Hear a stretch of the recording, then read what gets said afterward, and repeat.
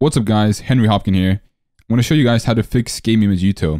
So I'm guessing the problem you have is that you have you have it open and when you try to drag in folder when you try to drag in files here, it flashes for a second and nothing happens. Let's start off with the most important step. Make sure your Game Image Util is in a folder like this. Then go into data, go into lib, and take these two DLL files and put them to the front. Since for me it works right now, it's fine. But if you want to fix it, you gotta do this. The only other option is to reset your entire PC and do a factory reset. From my, from my knowledge, you can correct me on this, but I haven't found anything else that can fix normal maps like Game Image Util.